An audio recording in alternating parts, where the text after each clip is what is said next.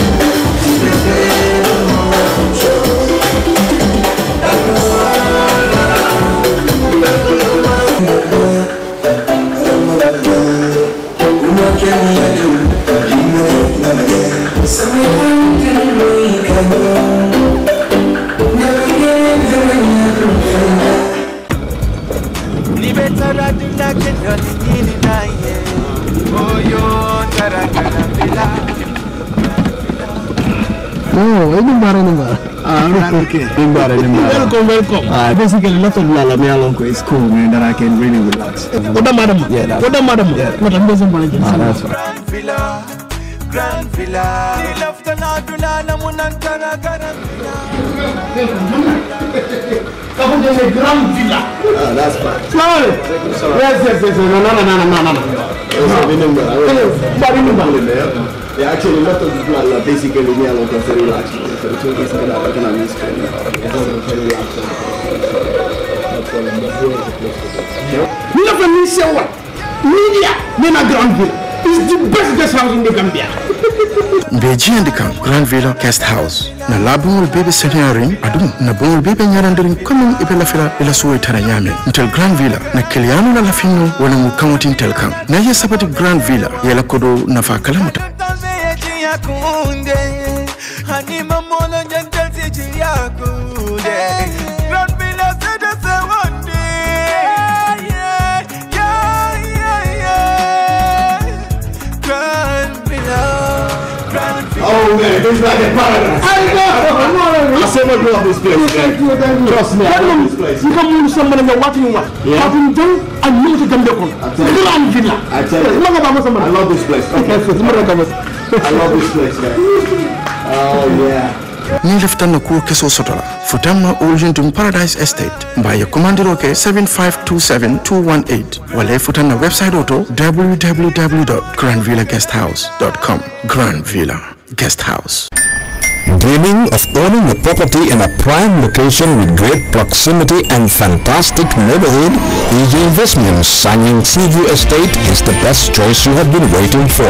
Our Sanyang Seaview Estate is approximately 15 minutes drive away from the busy hub of Brusubi roundabout and into the heart of nature where you can have a peaceful and relaxed lifestyle with your family. You can buy a finished four-bedroom story with five-year flexible payment plan or a service plot with two-year payment plan option. With over 300 homes, you'll enjoy big tar roads with covered drainage, modern electrification with solar street lights, gated entrance with security post, and a breath-catching experience of our beautiful sea view and lake view. You can own a home today at our Sanyang Sea View Estate. Call us today on 446-4838 or 325-9220. Visit our website on ejinvestments.net. EJ Investments, first in property.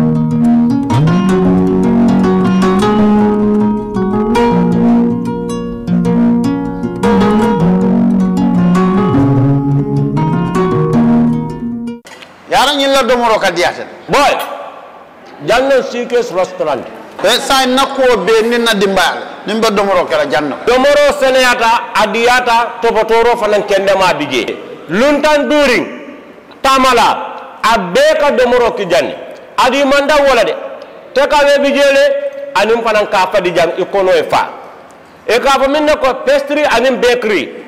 Iko fanan be kalele baade lomba conference lomba workshop lomba ye fofe nil lom dunia kono. Domoro betama nil lom international oti wada number one. Amanke ba domoro jang dama. Isa domo jang is atariya. A wo mu ku bandi. Ah, sa na ko sa futandi e oto sa eh, na ko be mu sikes restaurant. Ndafa na janna mu yak ni man te dorom bijam aban. Sikes restaurant known for best quality food and customer satisfaction.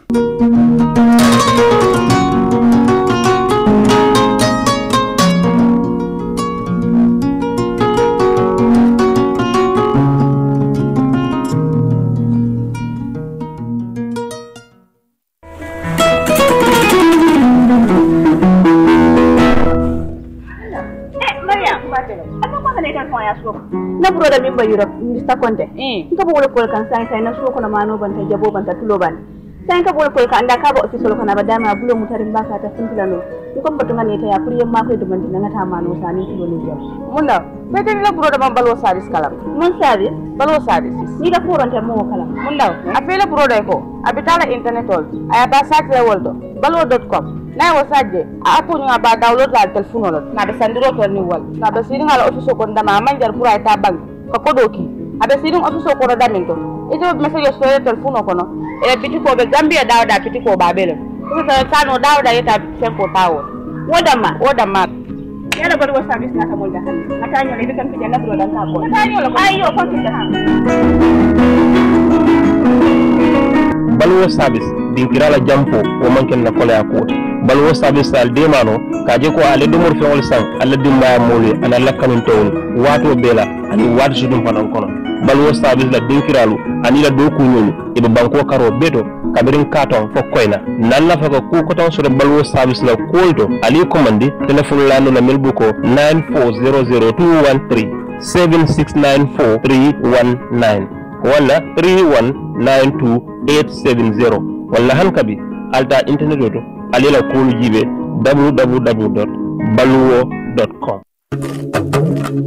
Do you live abroad and want to build your dream home in the Gambia without risking your funds and family ties? Do you want a household name that is trustworthy and efficient? A name that will continue to give you updates on the project from the beginning to the very end with videos and pictures? If your answer is yes, then worry no more. Boss Construction and Asset Management is here for you. If you live outside the Gambia and want to build your dream home, then this is ideal for you. Just reach out to Boss Construction and let's start building the dream home into a reality. With Boss Construction, the difference is clear. We give you value for money. Some of our services includes the following: construction management, building equipment rentals, rent management, purchase and leasing, asset management, and many more. For more information, please contact 282-4945. Better still, send us an email bossgambia at gmail.com or you can also visit our website on www.bossgambia.com. Boss Construction, a name you can trust. Boss Construction and Asset Management, keeping families together.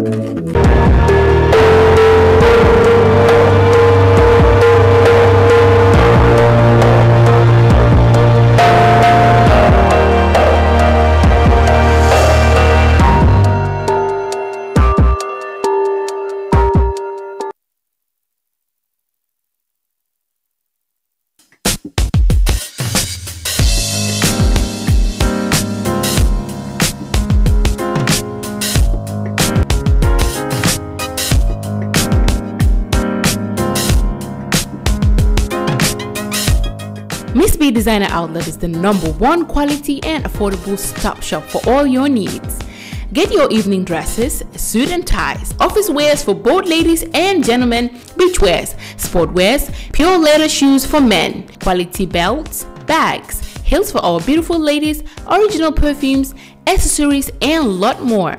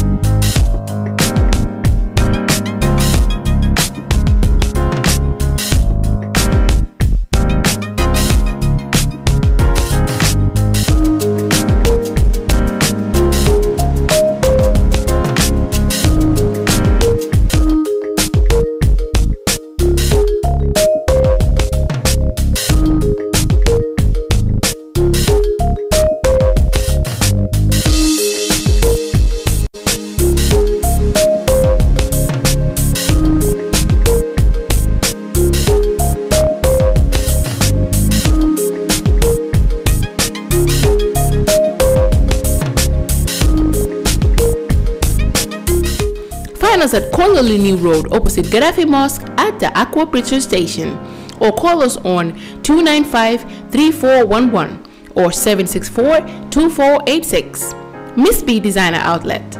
Shop right, look good.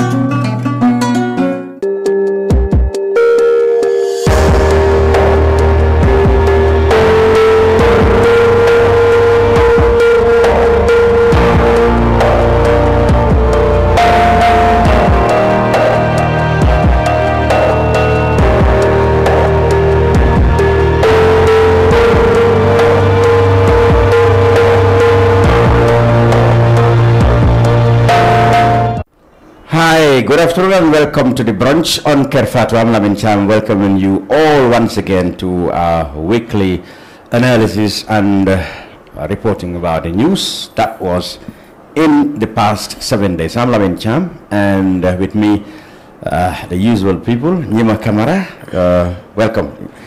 You weren't here last week. Where were you? I wasn't here. Yes, we know that. What we don't know is where, where you were. I was in Kenya. Ah, okay. Mustafa Dabo, of course, was here as usual. Mustafa, welcome. Thank you.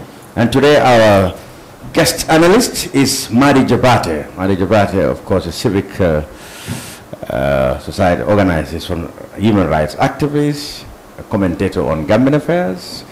Welcome.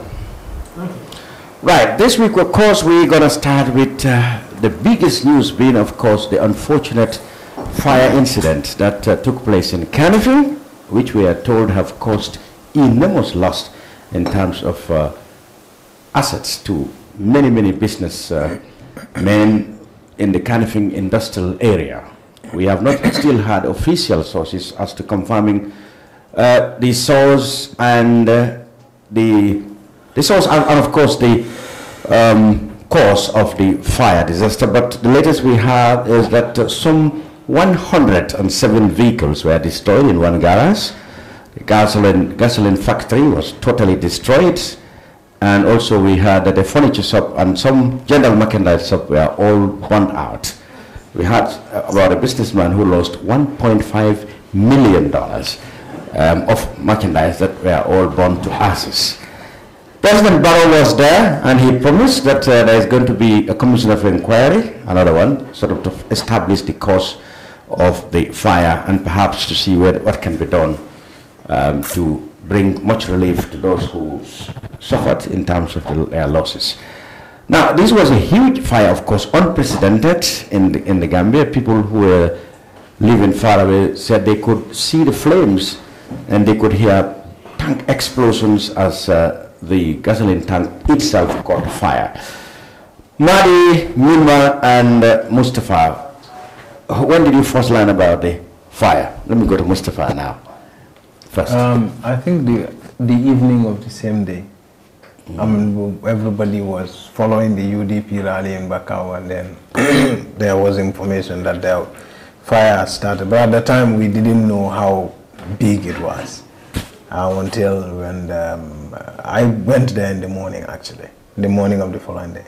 We are still struggling. And how was the scene when you arrived? I, I know, of course, Kerr Fatou, we too have our own personal uh, loss in the fire. We'll come to that later. But uh, what scene did you find uh, on Monday?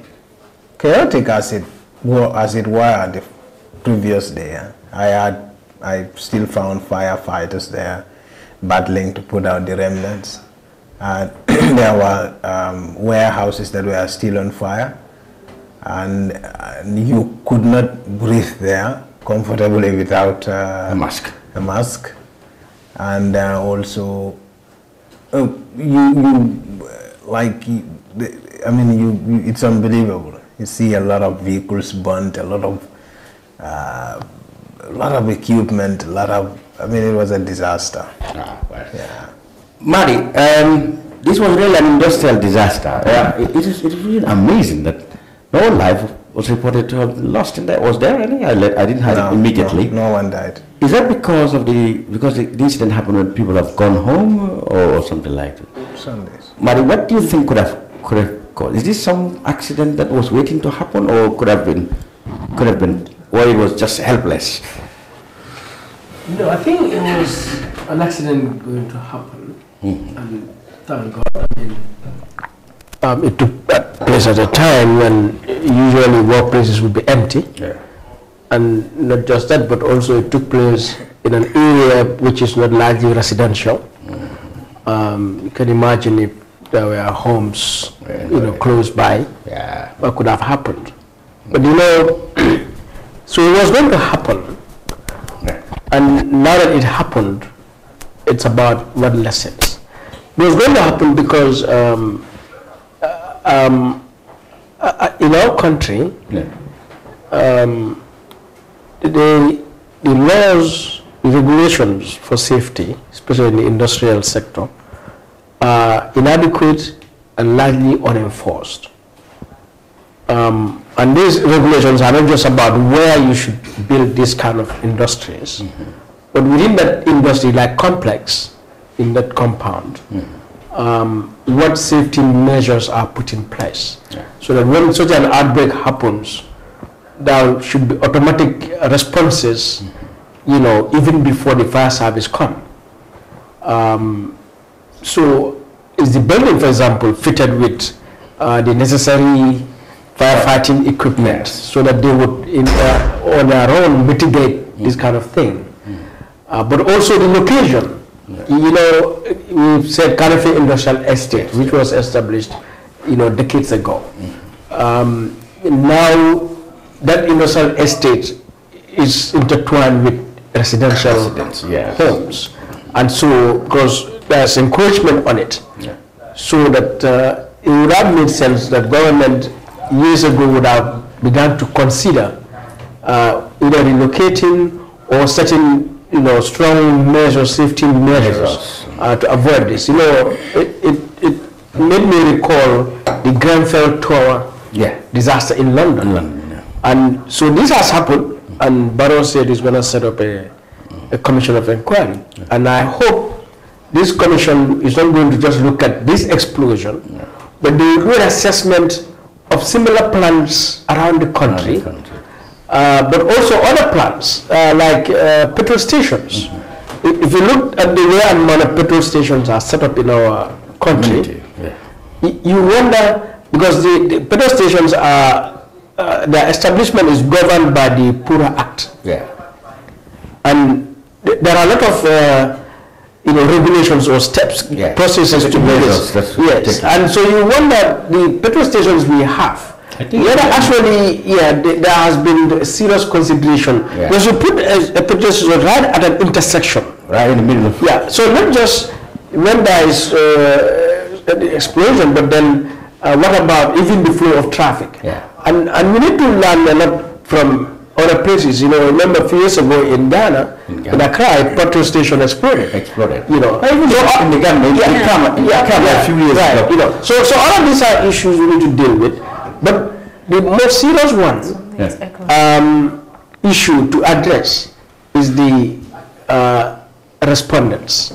Um, a day after this incident, or two days after, um, on Peter Gomez show, he had the acting head of the fire department, or some you know top officer Yeah. from fire department, West Coast, yeah. and it, it's amazing what this person was saying. Meaning, literally, our lives are at risk. That they, they, you know, because one in our country, we don't have hydrants, as this guy was Fire saying. hydrants, yes. Yeah, and Which the, is- the, the vehicles that they have Yeah. are very old, and the only vehicles that are good enough are the uh, fire vehicles at State House And at the and at the, at the airport. And you look at the distance.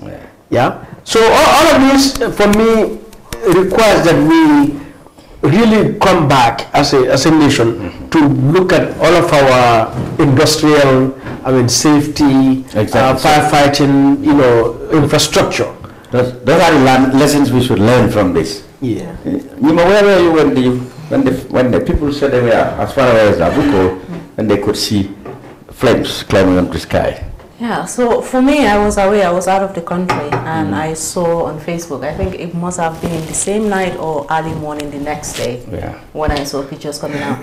Um, even by looking at the pictures, you could see the damage that was, that was caused, but immediately it did not register to me how damaging the accident was until after I saw Fatu Ture posting uh, some of the pictures, including her. Because that's close to car. home. Yeah. Yeah. And when I came back and I saw this, and I was like, this was a real disaster. But just to add into what Madi said, uh, apart from having adequate uh, regulations that are going to be enforced, I think we must also really equip our response mechanisms. Yeah, like Um, the fire service. The fire service must be really decentralized because there are so many factors that can impede even their movement. Mm. Uh, when the traffic is blocked, even just ordinary ambulance when they're transporting sick people, it, Yeah. it's really a struggle for them to find their way through. People through. don't respect the- them. Exactly, the heavy traffic. So imagine a disaster like this unfolding and the fire service could not access. That compound with their the inadequate nature of uh, Yeah. the, the equipment no, that we have. vehicles and equipment, fire hydrants. Exactly. Particularly, it's very important. I think people, uh, I mean, people don't take these things more seriously. Fire hydrant is somewhere where you can easily tap water in case of emergencies. Mm. It should be all around town, but unfortunately, it's, it's not. It's not as uh, as commonplace as it should be. Exactly. Is it even here? How many I places? don't But yes, there are. Yeah, places. yes, fire hydrants used to exist in Banjul. I think few even kind of locations. in itself, right? Yeah, I think, yeah, I've, I've heard of this. But yeah, these are all stuff that should come that we would study. But you see, apart from that also, accountability. Accountability. You see, uh, it, it is not in our nature here um, to pursue accountability. Because somebody, at the end of the day, somebody is saying, what happened in Kanifing is, is, is desti- destined to happen. Is the will of God. But I, I think there should be arrest and prosecution. Somebody must be held responsible, but um, or a, a, a, a company. But at the same time, uh, government should also uh, consider compensations or uh, some kind of bailout. Because um, imagine a businessman losing 1.5 million. But then of course, Where you but then where are the insurance? insurance? Yeah. Where are the insurance? Right. So, so which means that's also an issue um, that uh, one needs to know because these are all part of safety things. You know, uh, when I drive around town, the, the police are very good at stopping at the checkpoint where's your insurance.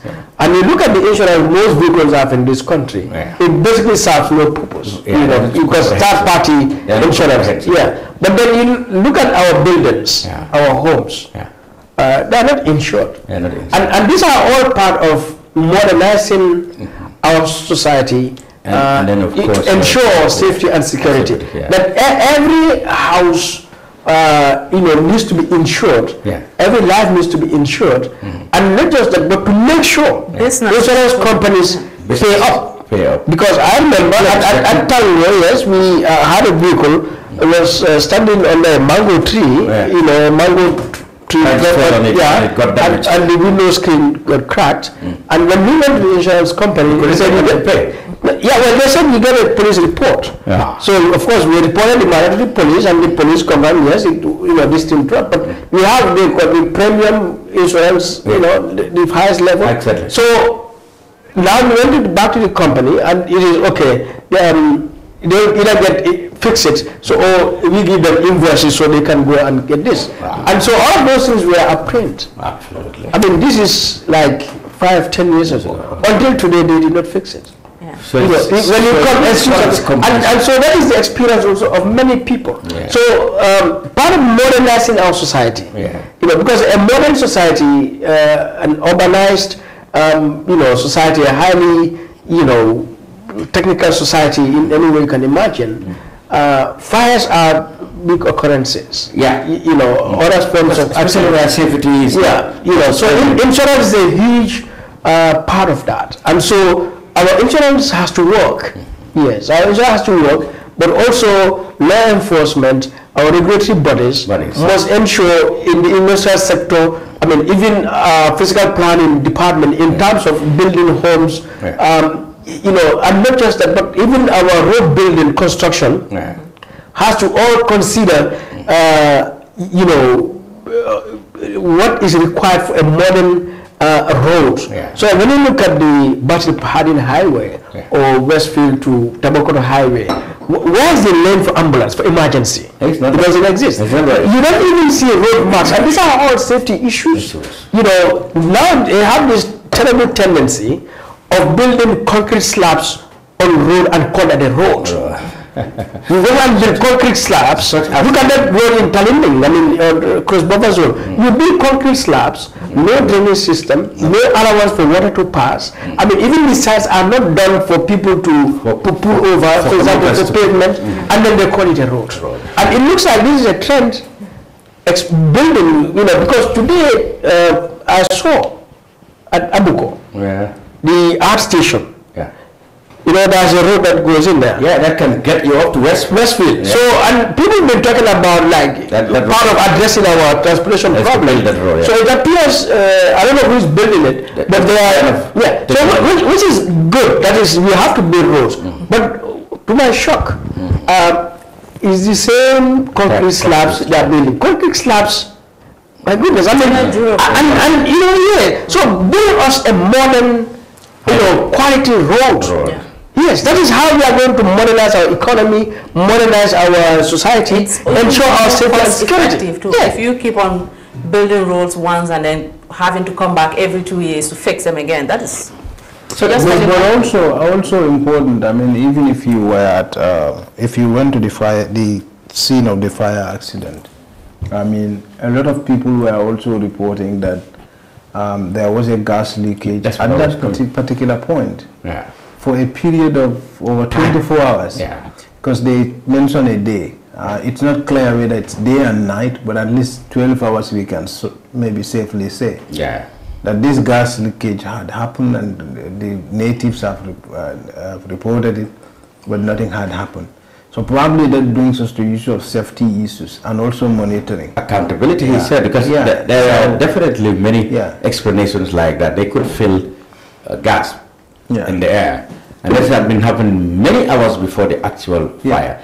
It is even believed that, um, I mean, it's because it's so, at some point, somewhere around the area, there was people who sell scrap metals. Yeah. And they were dealing with metals like, uh, I mean, fire. They, Yeah. I mean, they were. Yeah, yeah, yeah. they were Well. This is where they suspected the gas fire must have must have started. started, Yeah. and then it followed the leakage Yeah. right down to the tank depot itself, uh, which fed the flames, and that's why we could see the flames as far Because there is a there is a there is a gas tanker like this big Yeah, yeah. gas tankers that, that was positioned inside that big that compound. I see. That's the where Hadim Hadim compound. gas yeah. So and um, this is where the fire began. We were told. So But of course, investigation will either establish. will give us that. So, but we may be looking at the issue of probably uh, negligence, Negligence lack of of the side of monitoring, company. Lack of monitoring, Monitoring, uh, et etc., etc. Yeah.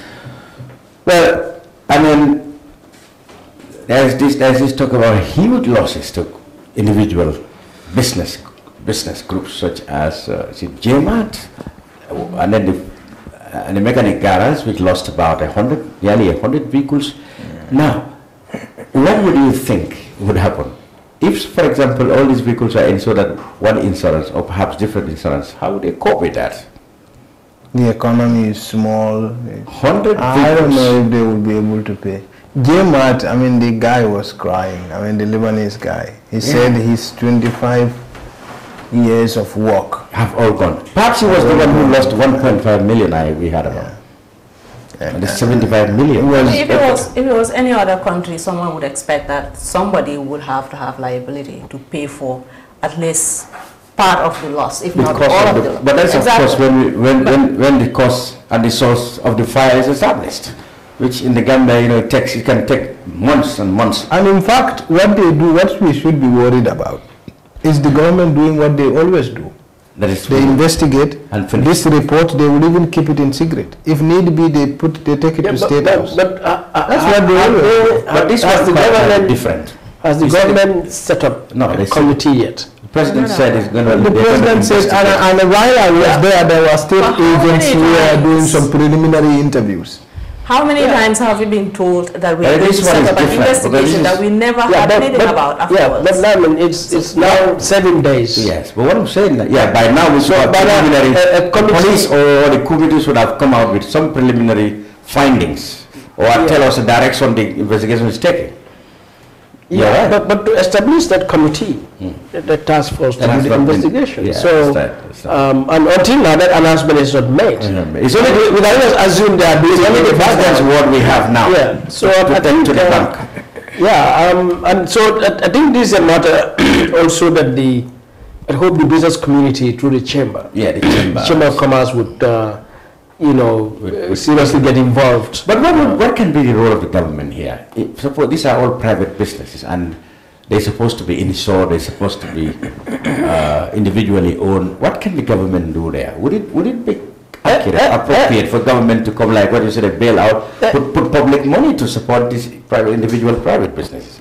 Um, well, government has everything to do here from the beginning to the end. Yeah. Um, because this matter concerns an act um, that would be considered criminal, would be, you know, whether it cost life and property, and in this case, property. Yeah. And so, uh, government therefore has a responsibility to protect uh, the rights of those that have properties that are destroyed. Yeah. And so, um, um, therefore, the government should first of all uh, lead the process to establish um, why and how this happened, the extent of the damage that has what the president said, eh? Yes, and then who are the affected parties and who are the responsible parties, and make sure the responsible parties are held accountable, and those affected parties to ensure that, That uh, they they, they, they, yeah, their properties or their damage has been repaired.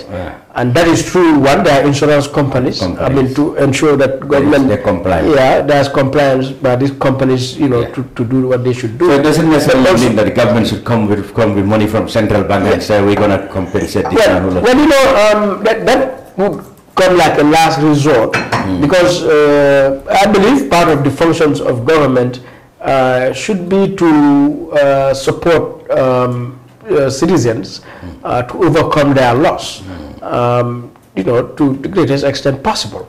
So where, um, you know, insurance uh, is, is limited or even absent and, um, you know, government should be in a position uh, to support through many means. I mean, it can be bailout in terms of a grant, but bailouts also by government, someone should pay for it. So it could be a loan. All right, um, at, at a very reasonable rate, yes. you know, So to those person can- companies, yeah, to person help- can restart the business immediately and be yeah, paying. be- because what you want to avoid as a government, uh, which also is your responsibility, is that this incident has caused unemployment, you know, or potentially would cause That's unemployment because, economy. yeah, those folks those who are working there, you know, cannot uh, continue to work there, or, I mean, someone who's lost 25 years of his, I mean, work, eh, right now, employing or paying someone's salary is not the It's not, priority. it's not a priority anymore. you know so and government has to come to really protect also uh, those workers and then you know uh, now and in the future. So uh, therefore government is in this from the beginning to the end. And i hope they come to really fulfill their responsibility. They just don't wash up their hands from it you know at any point. But to ensure that up to the, its logical conclusion the right steps were taken. Yeah, I want to also add that if their investigation should found that the government has also failed in certain uh, in implementing certain uh, measures, Yeah. and that could be a contributing factor to the fire outbreak, then they have a responsibility to pay for their failure. negligence But also, if you have certain entities that contribute so much to the GDP, especially Madi has alluded to the fact that they are also providing employment, hmm. it's in the state's interest to keep them in business. So if they go out of business and you're in a position to help, and this is why bailouts happen everywhere around the world. Yeah, but you know, I'm sure like JMAT that you claim and the others, they pay a huge amount of tax. Yeah. So that's also revenue government is losing, and you don't want to lose that revenue. So why don't you help them to come back so that you also get your revenue, get employment for youths, and you know, knowing that uh, uh, and uh, high youth unemployment is a threat to national security. So Right. Thank you very much, Madi. Uh, and we move on to the major story, another major story of the week, of course, that is taking us to the ninth, edition, ninth session, that is, of the Truth, Reconciliation and Reparation Commission. This week, or over the last two weeks, so to speak, the commission have been hearing testimonies relating to alleged sexual violence uh, committed in the last 22 years, either directly, allegedly, or connected to the regime of former President Yahya Jammeh. We had testimonies from Chief Protocol Officer um, Al-Haji Sise. We had one from President Jammeh's uh, former very close bodyguard, Yusuf Hassani, uh, right? And then, of course, we had the startling revelations made by some women who accused both the president and a former cabinet minister of uh, very explicit, if you like, sex acts performed on them by those two men. Um, Mustafa, let me go straight to you. We have always expected that, um, well, you know, of course, many people thought this session would not attract as much attention as the, those of the junglers or Edward Singhateh that preceded it. Um, but along the way, I mean, there have been some hair- hair-raising revelations uh, that's really touched many people's hearts. Which one particularly did you, did you went home with? Um, so for me, I was following all of it because for me, ultimately, what TRRC, um, I, I follow TRRC testimonies so that because one TRRC testimony doesn't mean much in itself. So if they are focusing on sexual acts of uh, Jammeh, for instance, or rape of Jammeh, you must have to follow all the testimonies to understand the context and be able to link one evidence to another so that you understand whether Jammeh is, whether, you know. So I was following all of it. I, um, I did not have the luxury of listening to one and not listening to the other. But I think I, I think these five people you've mentioned, Yusuf Asane, uh, Toufah, uh, Fatoumata Jallow, Binta Jamba. uh, Binta Jamba, um, um, no, not Binta Jamba. I'm talking about those who are directly linked to Jammeh. Oh, the mini- Binta the Jata. minis- Binta- Binta- the Ministry of Education. Yes, and Protocol. then and Alaji Sise and the Yusuf Anonymous. And I the think those are particularly more interesting because they've added a very They kind of lend credence to the testimony of the to, to information that victims. Had initially presented, or the Human Rights Watch investigations and all that. So we, it kind of solidify. Let's look at Alaji, uh, protocol officer said, uh, Nima. She said, he said, well, he, he actually one resisted being, uh, resisted being, you know, being pushed to, to actually say exact words uh, that would just, just directly tell us that the president was using the girls, protocol officers, protocol officers in bracket, for his sexual uh, pleasure. But he actually said the, the, the girls have been kept for the president's pleasure. So he actually said it all.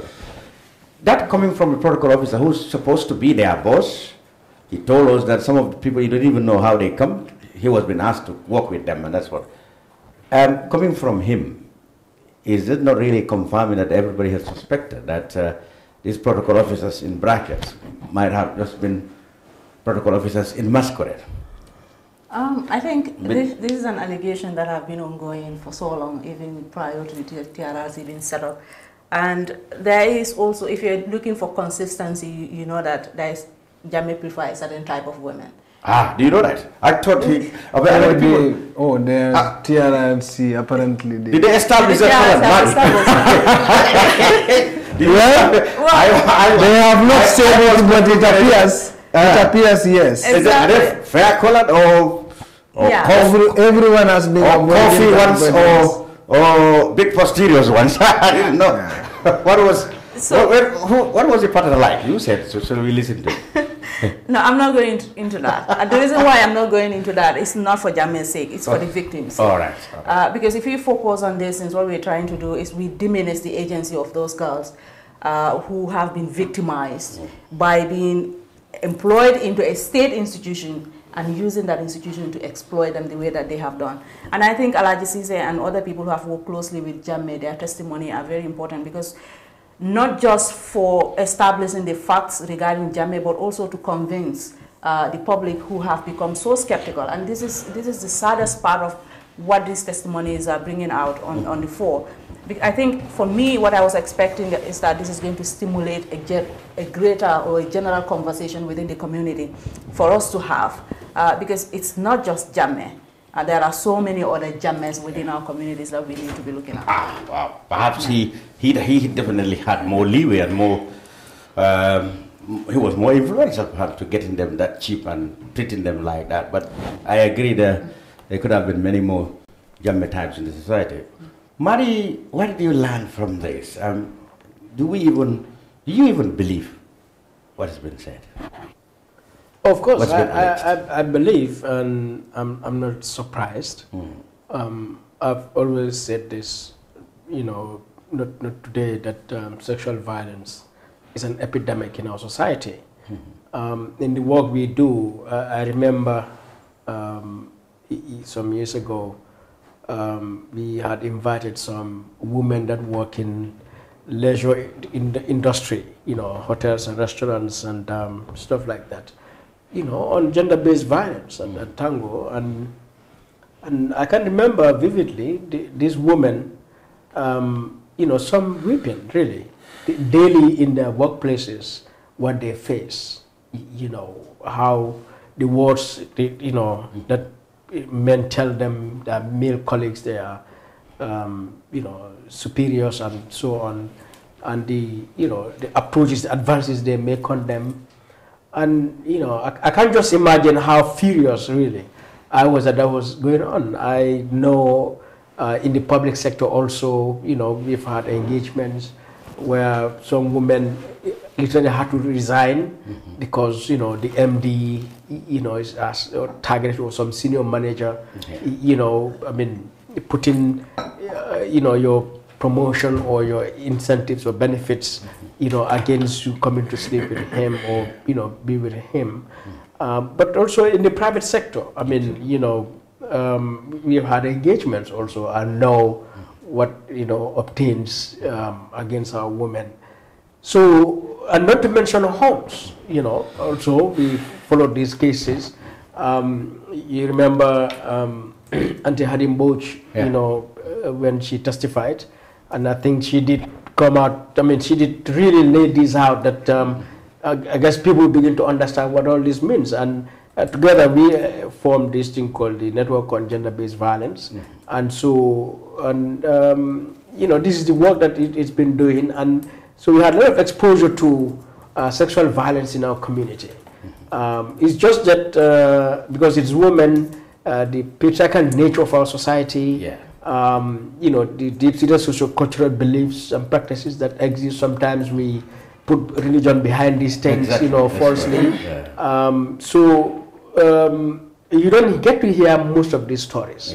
And so when therefore a woman comes out to speak, like Toufah, like you know, Like Fatu Jamba, Jam- Binta Jamba, Binta Jamba. you know, uh, even these past two days since the testimony, uh, I've had with engagements with women, educated women, Mm. women that are expected to know better, uh, raised doubt, uh, hesitation about fact, that I was, going. I'm- I was coming you to know, go that yeah. you've been very familiar with this kind of stories uh, in your work the civil society organization. Um, if somebody like Binta Jamba, like you said, people doubting, uh, she said rather quite uh, frankly or quite interestingly that uh, she was raped 60 times, over 60 times.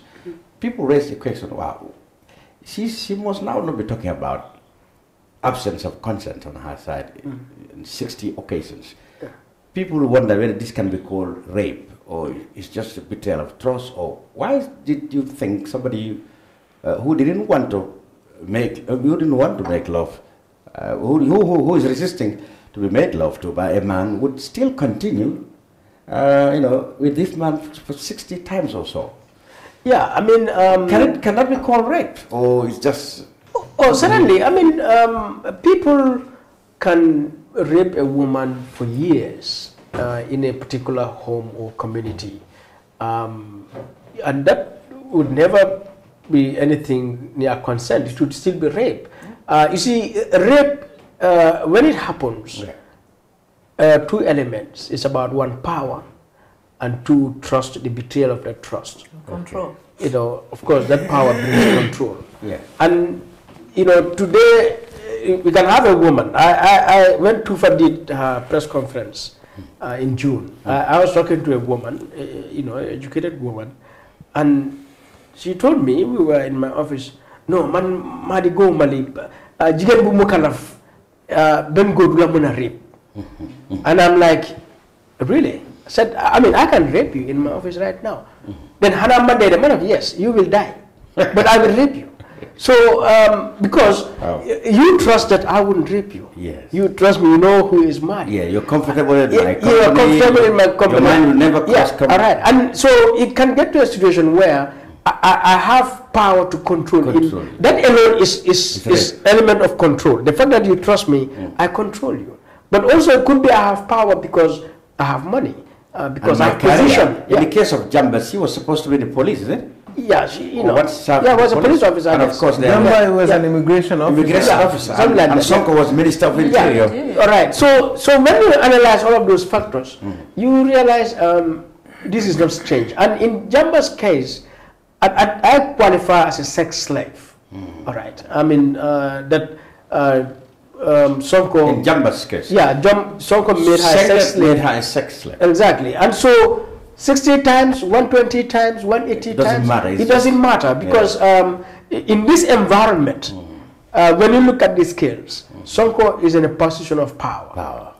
And Jamba is a position of weakness, for a number of reasons. And so um, if, if you are not in that position, uh, you and I can sit here and rationalize. Yeah, no, can- but this, I mean, possible. yeah, but uh, at that time, um, what what was going on in Jamba's head? What means opportunities are presented to her, are available to What her in her her options? Yes, I mean, how does she understand, you know, her entire circumstances? And you and I can sit here and, and uh, rationalize that, but at that moment uh, is what we need to consider. So that when we even look at Toufah's case, again, I was having this exchange with uh, another woman. I said, you know, the, the fact that Toufah could get to the state house, the state house, even you and me right now, ordinarily, if you enter the state house, you really feel you've entered uh, an environment, Environment of of power. power. All right. And so, from a socio-cultural political point of view, we perceive the president to be powerful. Very powerful. And, and so to be so close to the president, a, a lot of us are overcome. They, they get elevated. I've seen journalists who, instead of putting, you know, you know, very valid questions to the president, they keep just laughing Yeah. with him. Yeah. Just because they feel ele- elevated that they are near the president. All right, you know, so I, I- told her, you know, so when Toufah enters that house, and this is the president of the republic, um, the pressures on her, you know, mentally, psychologically, uh, because of the political power, the social power, the economic power this individual has, all, you know, pressure her to depend that her ability to resist, resist will uh, you know, is, is, is, is, is very limited. And so to downplay that, uh, it's really unfortunate. It, you, you, you know, you're just lucky, you know, you're not in that situation. In fact, what she said is quite important. Um, she said, like you just, uh, uh, I mean, illustrated. Here was a very powerful man who felt that all what he was doing there would never come to light. Nobody would ever have known about it. And this is Toufah, seizing the momentum now to tell the whole world about the other side of the man we thought was a Nasiruddin, a Sheikh, untouchable, uh, you know, and now he's telling us the, the, the side of Jammeh that we didn't know. She felt she, she was compelled to come out and tell the people, because so that people like him can feel that, well, you can't have your way all the time. Yeah, and uh, she, uh, I, I, I like this lady, the way she narrated her story. And you know If what? I, follow- I realized that she was the only one, she was the only victim, first victim so far, that have people really clapping for at the end of her, his- her testimony. Yeah. Because she, she, She said something. Because She moved everybody. Yeah, you, you can see uh, there is no venom or vengeance in, In this her- young lady. Yeah. You know, remember the part she was saying, okay, you are, my story is not about you, that is her fellow contestants at the time. Mm-hmm. Who saw the good side of Jammeh? That is your story. Yeah. And, and it is fine. Yes, you went to the contest, you contested, you won a prize, and Jammeh acted like a father to you. Fine. Good. That is your story. But, mine my this is my story. Exactly. So I, I, I celebrate you. So, but don't despise me because that is also my story. And I think that is a very magnanimous, very you know honest and you know uh, really mature fair. approach to it. And of course, the ending of it. Look, um, when we speak at the end, we say, if I have offended anyone, I'm sorry. Yeah. But it's, you know, she made a distinction. What I'm saying is going to offend Yeah. Jammeh. People like men like Jammeh, men who support perpetrators. yes. And you, I'm not sorry. And for me, I, I think that's the greatest statement to come out of the TRRC so far. You know. Yeah. You know what, I, what I've learned from Toufah's testimony is this. Uh, rape is a tool for violation, for violence. Mm. When men use it, they're using it to assert control, to assert power. Mm. And to do that, they suck away your own power from you. Mm. What Toufah, the opportunity Toufah had is to be able to reclaim that power, Okay. to be able to restore her dignity and to overcome all the, uh, the, the, the dehumanization that she went through. Yeah. So using that platform, that's what she was trying to do. Yeah. To show to the perpetrator, you thought you had my power, but I have my I have power, power back. back. This is my power back. And and you- the, the difference between her and the other women is that she had help. Yes. Toufah had help. The other women may not necessarily have help. Yeah. And when something happened for so many years past, sometimes you would find inconsistencies in the way that you explain Yes, yourself. yes. And this is what skeptics and I mean, Yeah, that's people why I with bad will Yeah. would say, "Oh, the, your story is not true. Your story Yeah, is yeah, not yeah. true." What we do not understand is that the more you continue to narrate your story, Yeah. the more consistent it becomes. For many of the, the women, unlike Toufah, they have kept all of these things inside, Mm-hmm. and this is just their opportunity now to come out to express, and it's relieving I- I- I- that life. It's, it's true because I, I observe that the kind of society we live in, um, uh, these kind of things are, are mainly taboo. Um, even even though it, you might say, okay, Jammeh is not here, so it's incorrect. But uh, I'm trying to say that even even the mere fact that people will, these kind of people will be bold enough to narrate a story. Yeah. Uh, I mean, not fearing being stigmatized and you know, not fearing they themselves, you know, I mean, exposing sites about them. It's, it tells a lot about how transformed our society now is. I mean, Yeah, I- I want to say our- something It to looks that to me that they are they are very discontent. It's a measure of their progress. If you talk, if you if you check how our society used to live, isn't it? You get this feeling that oh, our society have to progress. Hmm. These people can come come out and speak so so hmm. you know in such a manner that they, they don't fear anything now. They, they didn't fear repression. They don't fear stigmatization to themselves or shame or anything to them. Or is it because these two particularly Jamba and Toufah have had three or four five years of living perhaps in the West where where they have transformation in their mentality.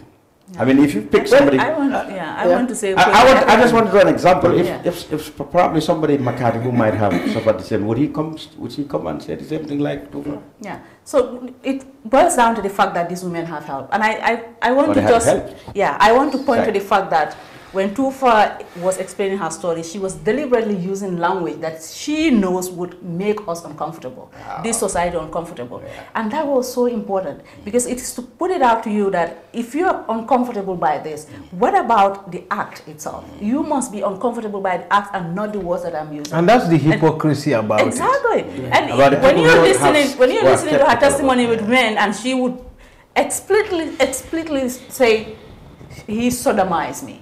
He used my anus instead of my vagina," Yeah. and you hear me say, "Astaghfirullah." So the word makes you uncomfortable. And But that's about what that's why Toufah made it a point to repeat it several times. Exactly. And, and even to speak in national languages. Yes. You know, so the ordinary people Would gets know. it. And, in, you And know, that's why in, it in, even simple- becomes yeah, even in- more in- eloquent. Yeah, in, in She's simple even addressing her doubters to, Yeah. to, to yeah, get them so- to be. Yeah, because what uh, Jimma was saying, I remember in June in our press conference, we were saying things like our, uh, you know, we have to make our society uncomfortable. Yeah. Because uh, that, Comfort that comfort, been a disaster. Yeah, that, that comfort is our disaster. That comfort is their protection. Yeah. So we have to, um, and, and that is the fact of life. Until we challenge our fundamental beliefs, until we challenge, you know, what we hold to be true, uh, we're not going to make progress. We're not going to learn. We're not going to get the truth.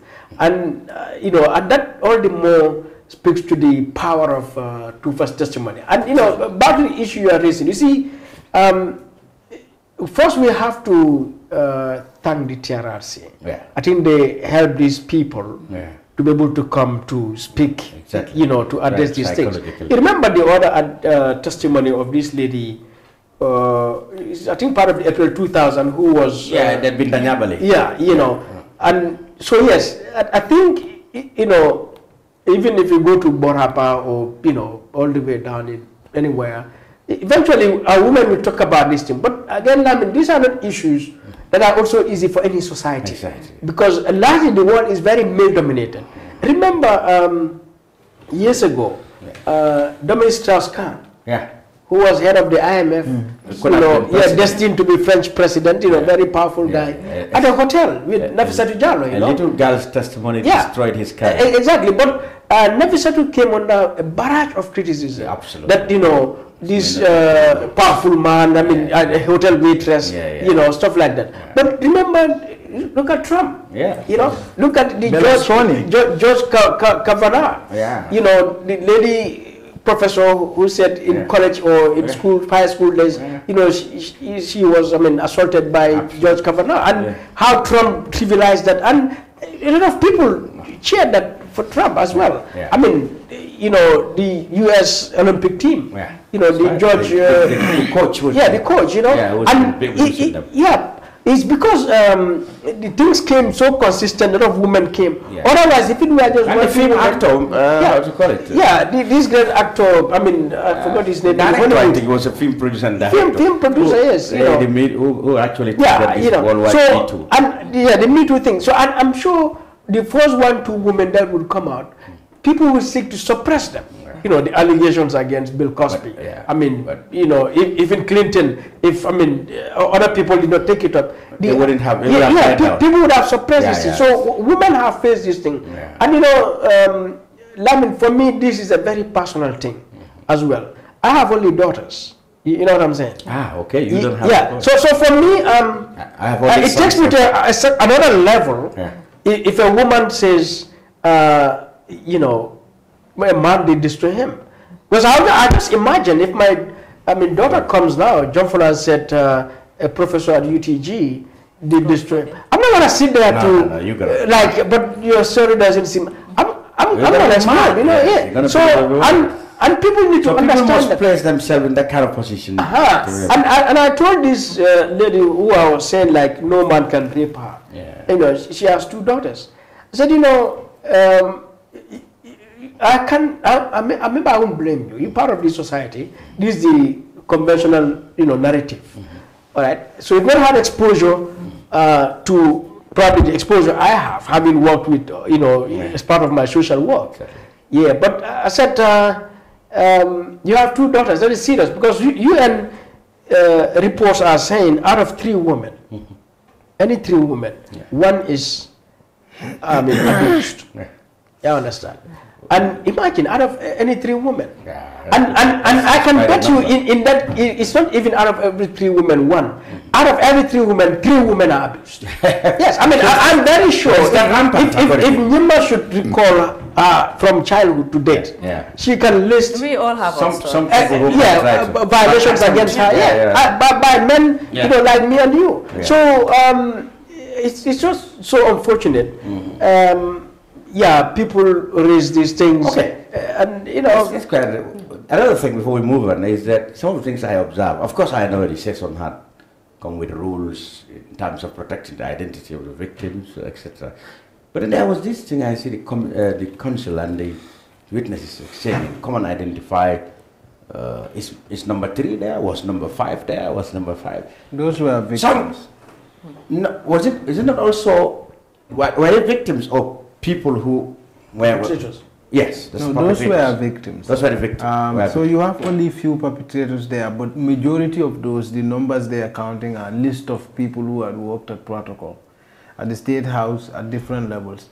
Because there are people exposed at different levels. That is why they brought testimonies from different, Different levels. perspectives. Yeah, what I'm trying You to say is those people been given numbers on, and, and not identified. Have they come forward to give a statement, to give statements, and then they they prefer not to be named, so they've been given numbers. No, there are lo- there are a lot of uh, sides to this, because you know TRRC is an investigation. Yeah. So what happens in front of us? It's just a show. Like they they they bringing us some part of the evidence they've already collected. So TRRC in their investigations will have incredible number of list of people involved in this, people involved in that and that and that. So they have their own pile of evidence. Yeah, absolutely. And within that they select So they what to to, show. they us. try but to I- I think also- confirm whether the witnesses have seen. Have you seen number X, three Y, and or Z? five and So, so I, I think in the case of Alaji, what was done, they, they, they would have known Yeah. that TRRC in the investigation, these are the women who are were supposed to be protocol officers. who were So protocol officers. yeah. So in this list of protocol officers, who were those special ladies that Alaji was referring to? And you know he would mention would the numbers that they, the they were. And probably uh, TRRC also knew their own list of these special ladies. Ladies, So they'll see whether they'll correspond. And perhaps there are others who might have been married, mo- women yeah, currently yeah, married. Yeah, yeah. So, so that if, if you name names, uh, you also enjoy the privacy. Privacy uh, of, the, uh, the, the name of those people. and probably they are married, they, yeah, that, and that can you yeah. I- but even if they are not married, Yeah. um, you know, you may make it difficult for them to get a husband. Get a because I mean, you know, Said when they a comfort married. woman who's gonna marry the comfort woman of yeah, yeah, yeah, yeah, I, I don't think Japan that would be. I don't think that would be a good justification if the person is just a perpetrator. But my No, the what, what not I a believe is what, what I believe is that sometimes victims. Victims. Yeah. Oh, okay. Yeah, what I don't like about it though, uh, why they are not disclosing perpetrators' names. Exactly. Like for example, I don't know which lady was it who said she was also The anonymous raped or I mean or assaulted sort of Yeah. by someone in the Ministry of Foreign Affairs. I mean, uh, Justice. Ministry of Justice. I mean, this is our public institution. If a woman went there and assaulted by a man, you need to know who has the person named, is. yes. Yeah, so So I, I, I think uh, you know those ones we should know because we are on a truth finding exercise. Yes, yes. Even in, when you look at Tida Jata's uh, testimony as well, I mean, I think we should. Uh, because they are either a victim or a perpetrator. If we can know the names of the victims, we should know the perpetrator. Some people are So I was looking at and how- victims as well. Yeah. Well, yeah, is- and, and it annoys a lot of people because even Justice Minister issued a press release to say yeah, they are allowed, they are aware of it. It's a two paragraph press So release. that's it, Two that's what sentence the actually is. press release. So, so you don't name anybody. So, it- I mean, everybody in the Ministry of Justice would be losing sleep over what, what is this? We should know. You should know. But, but you see, I, I, mean, overall, for me, uh, this the testimony of this woman, um, and uh, Alaji, he said himself, even though it's trying to be uh, diplomatic, to be misleading about it. I mean, uh, I can't imagine adult Gambian. You are a citizen, you are a human being. Do you think he knows, he knows too much? He knows more than he's willing. Oh, oh, definitely. He knows more than. He appears to- he doesn't know more than he- So I, I don't know what he- he's what he's hiding. Yeah. All right, but for me, what all of this exposes really um, is the very heart of dictatorship, um, of the, the the severe damage. I, think killing our children in 2000 and playing with our girls and women. I, I think that's the most insidious, uh, most rotten, uh, you know, most disgusting crime uh, that this regime has caused Gambians, for, for which for me is utterly unforgivable. You know, I mean, um, to play with a woman in the way Jammeh and his, I mean, our children. uh, perpetrators, co-perpetrators did so. Um, It's very painful. i- i- really painful. And, uh, you, you know, so for, for me, really, this is the height of the crimes that they've committed against Gambians. Because our children are women. The, the, these are the very essence of our being. You know what I'm saying? So we we we uh, to address the doubters, we nobody nobody doubted, that. Well, there were women who were employed as protocol officers who doesn't or neither had the qualification nor the the maturity to be one, and they have no official functions, just to be around the presidency. Uh, we knew that happened, the protocol officer, and uh, many others testified that that happened. Um, and so, though, if, for those who doubt, what other reason would these men have been brought, if not, is for the purpose of what has been alleged? Now, I think even if you look at the TRRC and their selection of, uh, because they have limited time, Yeah. and they had to also focus on other forms of sexual violence, not directly linked to Jammeh. Mm. But if you look at their choice of uh, witnesses Yeah. on matters that are connected to Jammeh, that is why they bring uh, people who have participated in different layers. For instance, you have an Audley who must have known Yes. about issues Because they are close surrounding the presidency Yeah, because he's close to him, he knows who goes in and goes out. They brought that one, and that one says, of course, when women and ladies are going in, we don't escort them. That's Jammeh's directives. When men are going, we escort them. So, of course, and that tells us the kind of a lot of policy at that So they don't escort women? They don't escort women. But they escort men? And this includes soldier women, uh, oddlies, uh, uh, no, sorry, protocol officers, and, and the et cetera, et cetera. And there are women who will also come over there from other places. So, second, you have Alaji Sise also, also in charge of protocol. And Alaji has clearly explained that by protocol, by procedure, these protocol officers should have been employed by the Public Service Commission and through his advice and help, because he's the chief protocol officer. he he said he These things don't happen. The- the- these people were employed by uh, uh, by executive directives, Direct. meaning Jammeh had direct control over these girls who become protocol officers. And we've brought again the link between uh, the protocol officers and the pageant. Because the girl, the lady who Binta Jata said clearly From the Ministry of Education. Yes, that she knew of two people, Tida. Yeah. She knew of two people who later became uh, protocol officers. And- That's one. Yeah. Who were pageant contestants. contestants. And two, um, see, this pageant contestant, contestant should be communicating to them, and them to, to the mini, to the mm. state house. State That means the ministry should be the intermediary. Exactly. But at a point, this The- communication stuff has been broken, Yeah. and the state house protocol guys directly are directly in touch with the girls. This shows direct connection and access by Jammeh to these girls. So this is the layers of things they've established, and they, they- they- we've got to Toufah, who is Well- now a victim. So it's like at every layer of responsibility, the TRRC has shown us who does what. And if you go inside the room Yeah. where Jammeh did the the small the stuff, the Uh, real well, thing. Allegedly. Well, Well, there's no well, okay, yes, allegation. well, it's an allegation. But- it so- so compelling. An- for, for someone like me, I am totally convinced. Convinced, absolutely, I'm yeah, no. completely So many people convinced. are. Like even even because because the guy Toufah named to be Kim Papa is a member of the Gambia, serving member of the Gambian National Army. That, that's it, that is of course, and Major Names Aliu like Sanya. Kim Papa and yeah. Jimbe Boy, Jimbe Jamme. So Jimbe may be away, Yeah. but Major Aliu Sanya can confirm that, of course, uh, this lady was here on this particular day. Particular day. And if we get the driver, Yeah, the driver should be able to tell us whether Yeah. if Toufah had left on that day, what was her mood at the time? And also, when Toufah left, when she got to Senegal, we should be able to have her mental Yeah. assessment. And even the psychosocial support she had in Canada, it, did, that professional doctor could tell us what in fact was the state of mind of Toufah at the time they met. Is it something consistent with people who have gone through this kind of trouble So or rape? Or so so I think it's the circumstantial evidence is, is, is, is overwhelming. quite compelling. Yeah. Unless if you don't want to believe it, Yeah, if you don't want that's a totally different thing. Very good. Now let's turn. We're still with TRRC. Um, we had the next session will be the witch hunting, um, in the literal sense of the word. That is, because people have been hunting as witches in the Fugees and some part of the Kombos, and you've been following. Uh, so much, not much has been said about it from from the TRRC. What, what do you know? What form will that take?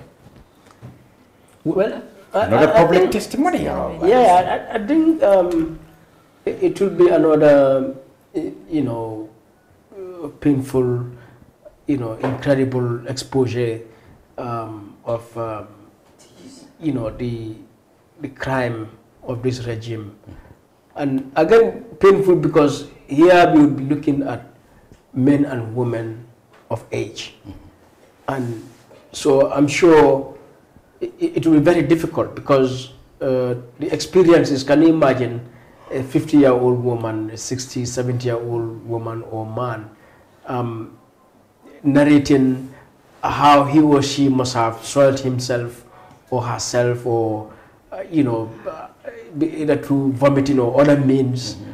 I mean, or seeking to hide, you know, and the humiliation that we would come to see. I I think it will shame all of us at, at the end of the day because, you know, you know the value, the position of elders mm-hmm. in, in our lives, in our Yeah. society. What baffles people is what is the business of government or president to even conceive an idea like going out after citizens and suspecting them of being witches? That's what continues to baffle people, man. Yeah, as if we have not had. Not story- going to Bora by any. As we- Maybe there as- may be witches I mean, there. I mean, the story, the story is about the, the, the sexual exploitation and the jungle is are horrific enough, but this one completely continue to baffle people. Mm. How a government or a president should really conceive an idea of getting to people because they must have eaten up when, somebody. when you, you know, when you look at that and the sexual violence and of course all of the other crimes, um, you know, unless if one has not had the opportunity to study to understand the nature of dictatorship, to understand what it means to have power unchecked. But don't you this is you know? So nothing will surprise you. Yeah, besides that, painful as But it this is. is I mean, one if you dictatorship, compare- you know, with another dimension, which is, uh, how do you call it, um, superstition. Exactly my point. But not the first time in the world. Yeah, Yeah. of course. Emperor Bokassa, Idi Amin, they are all known to have been highly um, superstitious. Superstitious. Yeah. And superstitious based on the fact that they are constantly feeling threatened by any form of power whatsoever, especially uh, the dark power. Uh, so dictators everywhere are paranoid that way. So it's, it's not something that he would not expect. So if he could uh, a ram, um, Edward Singhateh's poor Alive. ram, Yeah. alive, he could he could go after people suspected Yeah, they so, eat so, so, so um, you know, uh, when Compaoré was sent away Yeah. by the Burkinabè in 2014, Yeah. um, I, I wrote an article. It just Facebook reminded me of it yesterday, Yes, yes. and I saw it. Um, and I think the title of, of the article was "Understanding Dictatorship." Of course, 2014, when I was writing that, Yeah, yeah. Um, I, you know, my mind was on the Gambia. Absolutely. And so anyone who read it, you realize, okay, this this is this is about was what's about happening in the Gambia, Gambia. yes. But but just to say, as I noted in that article, um, dictatorship, you know, you wouldn't understand it if you are reasonable. Yeah. You won't understand it by logic. Logic. Yes, um, it, it's a, a game of its own, and it's based on uh, violence, on deception, you know, and it, uses all means. And for the dictatorship, nothing is an end in itself. Everything, including the dictator's own mother and child, are vehicles, are means to that end. And the end is, um, I will stay here to take control of the resources, you know, of the of Mind the, you know of, of that society. So uh, this is what dictatorship is all about. And so in, in that project, um, that dictatorship would employ any means to generate fear, any means to deceive, I mean, any means to inflict harm, pain, uh, so that it remains in place. Because uh, if you um, study dictatorships, it says they survive on the obedience of the people. All right. And so dictatorship survives because people obey. And that obedience, and I remember having this conversation with some folks years ago, you know, at Tango. Uh, we all obeyed the dictatorship. If they said today's July 22nd public holiday, we all stayed home. If they said today's settle, we all stayed home. Um, if Jammeh is going past, we, we leave the road. That's all obedience. Uh, some of us left the country. Uh, it's still obedient because you've left the space for him. Yeah. You understand? Yeah. Even though you, you want to resist outside there, but you, his space, you've left it. Yeah. You know, so in many, many ways, even those who were fighting, then- but then when you we we are all obeying. But then when you, see, when you see a willingness in that man to kill just to have his Yeah. head, it's- I mean, it is Yeah, yeah. So it's that's right. That, to that, go. that, that, yeah. So, so, so no, no. I'm, I'm, I'm, I'm not. I'm It's called preservation of life. Right. I'm, I'm not in any way uh, cri- critiquing the, the fact that the we, people we who obey. Like, exiled. yeah. So like I, I, I obeyed, and uh, you know, And this obedience is not out of, uh, you know, my own Voluntarily. volition, yeah, I mean, or to celebrate anything. But you obey because uh, you are misled. You obey because uh, of pain. That's genuine Yeah, fear. You know, genuine fear. And yeah, so, and of course, he's used this to consolidate his power. Power, yeah. So every element of power base in the country, whether it's religion, whether it's tribe, whether it's superstition, you know, the dictator employs everything to the point that in your eyes, he looks invincible. He looks, I mean, um, like, yeah, all, all, all, powerful, all present everywhere. yeah. So, and this is how dictators move, all right? And so when we study dictatorships, you know, from way back in history, Yeah. any part of the world, you, you see incredible uh, madness that you begin to wonder, like, uh, does this really make sense? Makes Wha- sense, Why are you doing this thing when it makes, it, uh, it has nothing to you or subtracts anything from you? So uh, read Bokassa, read Idi Idi Amin, Amin. you know, read Saddam Hussein Read or, Saddam you know, Hitler, you'll see some, you know, Augusto Pinochet. really And you mad things that, you know, yeah, so this witchcraft uh, is one of those things. And and I, I, I can tell you the testimonies when they come, um, pe- people will be incredulous uh, again. Okay. Like people will be, nah, this cannot be true. Exactly. Yeah, I'm sure some folks may try to deny it. And one, one completely different uh, scope it will take, you can tell us more, that the hearing should be relocated from the Dunes Hotel headquarters of the TRC. Yeah, so, no, so they will start at the dunes Okay. for some time. Yeah. And because the uh, because the uh, this particular thing is unlike any other, Yeah.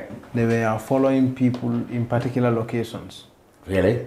Yeah, yeah, yeah. Of course, they went to villages and people were running. Of course, yeah, there, there were testimonies like somebody, Yeah, I had yeah, stories like yeah. people leaving home People to leaving sleep home. in the bush. uncle ran away too. Yeah, and they come on, they only come home, when they came home in the night. Yeah, so they will be going to SL, uh, I've heard, and they will be They will have to- public hearings in SL. Yeah. Is that what you were saying? Yeah, and they will have. Oh, public- that's, that's one place Jammeh suspected to, to have to be harboring witches. Oh, he, he did it in all those places. As well as in Kanila. He did it in yeah. He did it also in Jambu, In and they would go to Jambu. He didn't do it in Barigo, he did? Oh no, we would have fight, we would have had a, had a war with him. You know, we don't. We So don't- Jambu, Kanila, Sintet. Yeah, they will be. Sintet is on their mind, but they are saying, as for the location in Fonyi, that may change, mm. depending on where they find appropriate. So, but it would be interesting. there- because where- This will be the first uh, out of uh, Dunes Hotel here in TRC will have. Yeah. Wherein there are suggestions that some people might not like to take part in the process because uh, they either believe, they still believe uh, it is just, it's only going to discredit Jammeh, who is their champion, politician, political idol, so, etc. Well, I Even mean, who are yes, yes, but I, I can assure you also, uh, as time goes on and uh, um, um, people's awareness coming back, uh, that uh, this for Jam, even for Jammeh, even for Jammeh's own standards, this political combat it's impossible. People are beginning to come to certain realization and also understanding that look, this guy messed with us. Absolutely. So how could we still stick? There are people who will testify.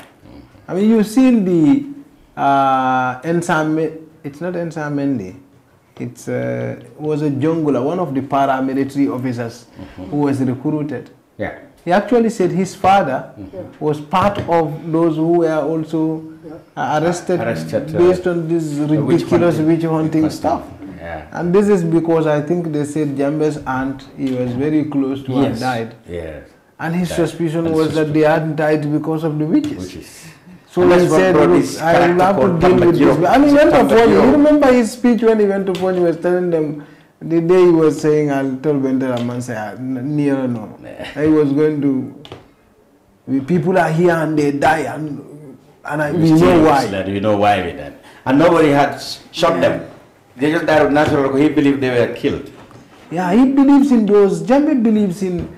I mean, there are a lot of people who are superstitious, but Jammeh's own level of superstition is so, just. so, so an, an individual uh, so dull like Jammeh, um, unsophisticated in any way you can imagine, and then in charge of power, state power. Yes, that's where the And problem is. then that state power um, is left largely unchecked uh, by the very institutions of that state itself to check that power, uh, but also by even citizens uh, because of citizens' limited political awareness to understand that sovereignty resides in us Yeah. and that the president and the state as a whole derive their legitimacy and authority from us, and therefore we have a duty to hold the state accountable. So that I think one of the lessons out of this TRRC, uh, what we should see is ultimately uh, that state power is real power. And that power in the hands of men and women without conscience, without, Without- morals, without without, values, without without ed- education, yeah, uh, the tendency of that power to be Abused. transformed into a weapon Yeah. to abuse citizens is very high. Very Thi- This is why um, uh, here government say this. We will never have Jammeh here again. And we know Terra the watchword there is Never again. Never again. But, But you let, still but we, well, yeah, let us not be naive Yes. uh, that another Jammeh cannot come back. Yes, it can. Uh, as long as uh, we, the citizens, particularly, first and foremost, refuse to be vigilant. Exactly. So the price of freedom is eternal vigilance. Vigilance. That we are not vigilant, Yeah. uh, that we are not proactive um, to check that power. Love your president, love your party as much as you can. But um, fundamental- check, yeah, because at the end of the day, we are all human beings. Absolutely. I am prone to corruption like you, like Jammeh. I am prone to abuse. Abuse. I can Yeah, get yeah, angry. I Yeah, can get, and, uh, yeah, and so to I- assume that I can if, be if Madi, yeah, if Madi is president, uh, so he would not abuse because this is Madi. It's false. It's false. Yeah, I mean, you have to check that person. Yeah, change. yeah. I mean, um, and so I I have these issues, or some people have this issue with me on Facebook. Oh, Madi, you never see anything good about this government, and sometimes you want to laugh, sometimes you want to cry. Because it, it appears, okay, these are individuals who are yet to understand uh, citizenship, who are yet to understand state power, government. That I'm not here to say, to sing what uh, this government is Wants. doing. Because they, they have a terms of reference they, in the constitution that they are there to protect my rights and fulfill my needs. So they have to do that, and I have paid for that. So I don't need to tell them thank you. Thank you. Oh, you know, you are doing a wonderful job. My job is to make sure to watch they- them they stay on that course. they are doing that every day They stay on without course. any clapping, without, any thank you. And they are not doing it Yeah. any condition. Or, Uh-huh, because I'm paying for it. I mean, we pay for uh, Mr. Barrow's house. State house is like a five-star hotel. Everything. Yeah, his healthcare, his security. We clothe him, we feed him, Him a, care him. yeah, 100 million Yeah, to do, uh, right. to do he, don't, he, he doesn't even pay tax. Exactly. I mean, and what is he a better human being or No, citizen no, than me? No. I mean, he presented himself to be elected president, and we elect him to give him our power. Power. Why should I go and clap for him for doing a good job? That is what he's supposed to. Well, supposed to. Right. So, but what my role is, is to check him. One little mistake, I should shout as if I mean the world is uh, yeah. falling down. That, that is what That's- a citizen should do. because if, if we fail to do that, Yeah, well, that is how we had the junglers. That's how we had all this violence on our Well, women, on our fathers and mothers, on the plunder of our public resources. And then they personalized the entire state, you know, as his personal property. Imagine Jammeh said, my university, my, My GRTS, my my, camera, my my, vehicle, my My country. my Don't country. Well, Jawara used to say my government, but then the PPP people said in, what he meant there is the government he hates. Yeah, And you- nothing you can say my Yeah, government. people, you can still say. Reasonably, you can take that, but Yeah, it because is it it is is outrageous. outrageous. These are my Yeah, you can say my government. Of course, you're the head of that government. This is your government because You can- you can know, say my people. Yeah, because we, we, we have to make a distinction. You hear government say we are the government. Yes. The people are the government. The people are not the government. Mm-hmm. You know, the government is there. That institution and those people we elect or appoint to work Are there, government. they are the government, right? And somebody hates that government. So I, I'm not the government. I'm a citizen. You know, yeah. Um, we have to understand that. But so if the president says my government will do A, B, C, and D, understandable. But where you really go, because we know when the president says that, you don't necessarily say like this is my personal property.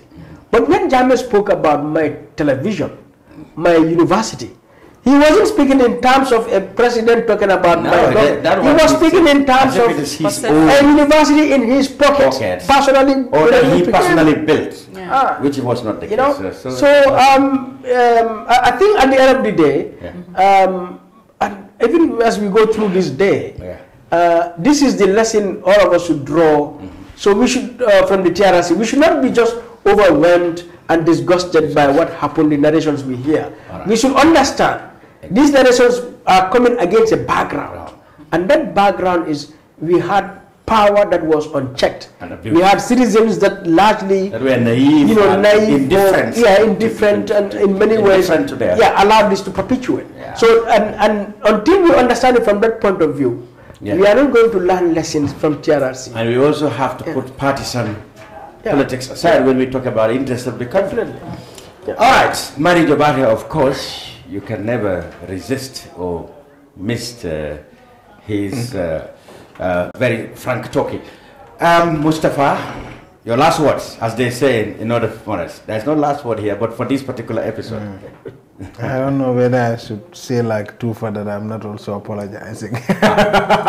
Are you Toufah yourself? no. Everybody's Toufah. So uh, I think it's going to be uh, when TRRC resumes, um, the witch hunting is going to be very interesting. yes. But for me, there is no segment like this past one. Past one. Really? Because the reason, yes, because the reason why everybody is even more uncomfortable, especially the so-called political class that has some connection to Jammeh or whatever, is because this, this is the thing that they do, but they don't want everyone, anyone to talk about. Okay. These are the same people who would say any, who would, Who would like, come imagine counter. some guy who roams around with a Quran and this is what he does. So this exposes the contradiction of our society. Uh-huh. And it's not just about Jammeh, it's about everyone. So and that contradiction is very uncomfortable for everybody. Good. So that's why you think that session, definitely nine session. That was, is why the I think the ninth session is the most important one. And even if you are to talk about the issue of prosecuting Jammeh, who do you, what do you think it's Yeah. Which which which which areas think do you think there are compelling this cases is- this against is- him? this is sexual more abuse? compelling than- because it's, all of them are equally I know, but the, Yeah, but- but- think, but think sexual, think sexual violence is- is a big thing all around the world for human all rights. over the world. For human rights. huge. Human rights. Why do they select uh, Jamba's testimony, Jamba to go and testify in Usman's case? It's huge. huge. You know? And perhaps, hopefully, Jamba's testimony, no matter Is- how is it- cons- inconsistent they think it is here, It is. It is. may play a very huge My role in point nailing is Usman. someone who has been raped once Yeah. and someone who has been raped 1,000 times, there is no difference, between the Yeah, but there is a bit of a difference between killing and raping. Ah, all right. The gravity, You in think- my in my view. You think killing is more I think raping is more. We, you know, you know, when you kill someone, you Western just get rid of them. you know, when you Madam rape someone, West- you've ruined in them, Western societies, and they live get- with it for the rest of their lives. In Western, Raping is way in more Western dangerous. societies, you get more in trouble by raping than killing. Rape- Somebody who raping murders is somebody much more serious. Parole. I, I, I saw it with my eyes. A case in London where somebody was accused of rape would never get a parole until 30 years, when a murderer could get it in five years. Rape is get it- serious. It's very serious. Very serious. Because, you know, I think rape, um, even in the ICC statute, rape is a crime against humanity. Exactly. Um, because raping a woman, I mean, subjecting a woman to sexual violence, you go to injure her as a person physically, but also her dignity, her very essence, the sexuality of a woman or even a man i- is integral to your dignity, to your humanity. And so to um, exploit that woman on the basis of her sexuality um, is crime that also injures the very essence of humanity as a whole. You know, because Sometimes I mean, you wo- wonder. women, I mean, they are the mothers. And in a metaphorical sense, not just uh, physically, but that the, the world is That's- without Exactly. you know, without a, I mean, a, a woman. so to, to, to play with a woman um, we, we- play you with play with the humanity. whole of humanity as a whole. So it's a crime for me that is just unlimited. I mean, Absolutely. That's, yeah. and it's, it's like, it is in many societies, in the West and other places, We're it's seen like forgetting that. that. men who are raped are equally subjected to that dehumanization. Yeah. So it goes both. Rape is just Well, women- dehumanizing. it's Seriously, it's yeah. just ignoring the fact that the other person is an equal human to And- me. yeah. So I am going to subject you to my whims, to my desire, to my needs. Yeah. Right. So- I hope never again Never again. would we have that in the Gambia. Well, that's about it in this edition of The Brunch. My thanks to Nima Kamara, a lecturer at the University of the Gambia. Madi Jobarteh, uh, who is from the Civic Society Organization, a human rights activist, and a very, very vigilant commentator on Gambian matters. Uh, Mustafa Dabo, of course, from Kerr Fatou. To all of you, uh, we said thank you very much for joining us here. We will end this episode with a look at our entrepreneur of the week, which this week comes from Miss B Designer Outlet, which is located at Kololi Highway. Until we come back next week, goodbye.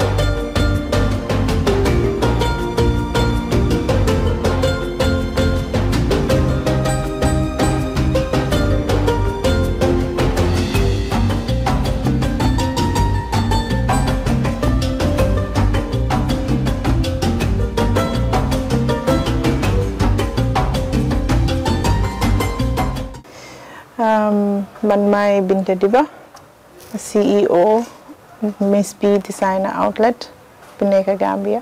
Am nañ fi bagage yu rafet a rafet a rafet. Am nañ fi prom dresses yi am nañ um, office wear am nañ sexy dress am nañ beach wear am nañ sport wears both male and female. Am nañ suits tamit pour góor yi. Am nañ pure leather dala and belta we have quality nañ original perfumes like Hugo Boss ak D&G am nañ a lot of beautiful things. I'm nañ office wear tamit pour góor yi simis. Yeah I'm nañ lu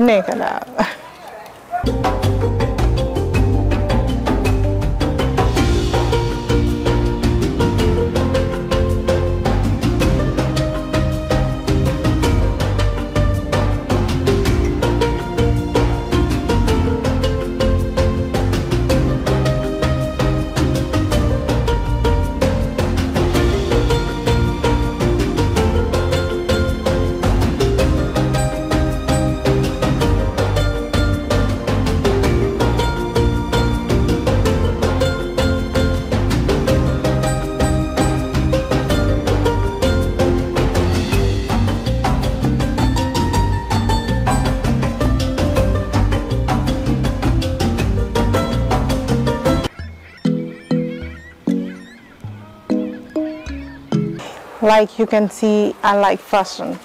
Dama dama love fashion torop um, because bi ma jógee Gambia ma Germany mës naa def modeling but for jewelries. So after that mu neex ma something that I really want to do.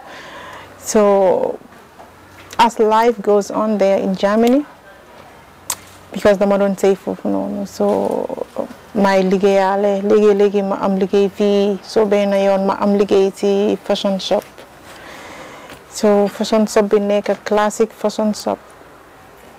So dama dee gis yére yi ba pare su ma gisee nit mu solo mu sol loo xam ne is elegant in the right place or mu sexy in the right place or casual in the right place. I feel very happy so ma gis ne Gambia suma dëkk la country la people are here okay. Sometimes you can order things from abroad. Why easy wut su fekkee ne the possibility mbokk foofu noonu o amuloo visa card. Because most of bagage soo ko order online foog nga am so ma ne ok xaaral daal ma ubbi Fashion Shop Gambia so loolu moo tax nag tey ñu am Miss B outlet. Am naa ñaar because benn bi maa ngi in the mall of Gambia. Boobu tamit we have almost the same things yeah. Am nañ sampo yoo xam ne medicated sampo lañ. Germany lañ dee jógee toothpaste toothbrush. Am nañ tamit multivitamin tablets yi. Am diabetes sugar I have a lot of things. So you say more to the outlet. You know that is everything is inside.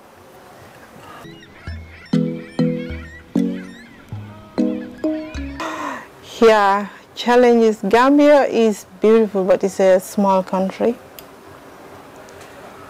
Business nañ fii nii. So man bagage yi ma dee indi dama dee try ma jënd suma bagage Germany nga xam ne original la. Dama dee dem tamit Turkey. I search for quality. So loolu moo tax bagage yi dañ dee seer. Because mun naa fe am daala benn boo xam ne maa ngi ko jaay six thousand suit eight thousand. Loolu lu ko tax because it's quality. Man tam lu ma ko dee jëndee foofu noonu moo tax may ko war a jaayee fii. Te xam naa ne am na nit ñi nga xam ne ñu ngi nekk fii nii. Dinañ ñëw ñu waxaale. These are challenges you know. Te su ma gisee nit mu dugga si dama dee bëgga definitely you come for shopping you are happy. I really want you to go out happy. So loolu daf ma dee xala stress tuuti so I have to sometimes come down with the price. You those are challenges yoo xam ne maa ngi ko am ba pare. Business bi tamit mu ngi xala slow tuuti. Foog na dëkk bi nu mel.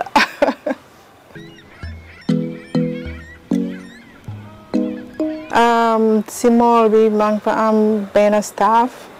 Fii maa ngi fi am ñetta so I have four staffs.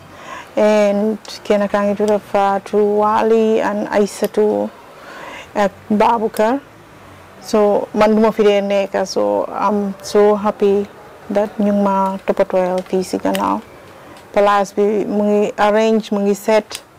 Customer care they are very nice dama dee ñëw ma toog ma bàyyi leen xel so dama dee gis nuñ dee jaayee si customer yi. Ku fi génn rek dang dee happy with a big smile on your face. Um, fii actually all customers are equal for me because I have different class of customer. Am na ñoo xam ne liggéeykat la office workers lañ maybe bankers.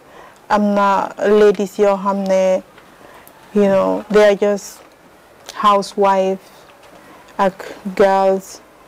So I have different kind of customer different category and they are all the same because as long as they dress well we are happy Uh, in five years time actually is a is a dream that I have. Am my own brand like my own brand. That's why moo tax sax ma tuddee Fashion Shop bi Miss B because mun naa koo def si si t-shirt mun naa koo def si bag mun naa koo def si lu nekk daal jeans. That's my wish in the next five years dama bëgg a daal ma am different different branches ma am suma own brand name. Fii ku fi bëgg a ñëw fii mu ngi nekk am Kololi highway bi opposite Gaddafi Mosque si Aqua petrol station bi. So soo taxawee foofu rek di nga gis Miss B outlet. Soo bëggee pour jot um, suma staff any inquiries mun dial 2834955 or nga visit ñu si suñu Instagram page bi Miss B Designer Outlet. Or we have a Facebook page boobu tamit Miss B Designer Outlet. So you can reach us anywhere. I'm thanking everybody who is working with me suma staff si first of all ak suma customers yi nga xam without them you know duñ fi nekk without them bunta bi di ubbeeku. So without them tamit duma mun a fay suma staff si so I'm saying a big thanks to my customers and a big thanks to my husband. And also ñu ma seetaan tamit ñu nga xam ne they follow me on Facebook or Instagram I'm just saying thank you so much. You can all come and then look for your outfit. You know sometimes we give out gift. Maa ngi gërëm suma yaay ak team thank you so much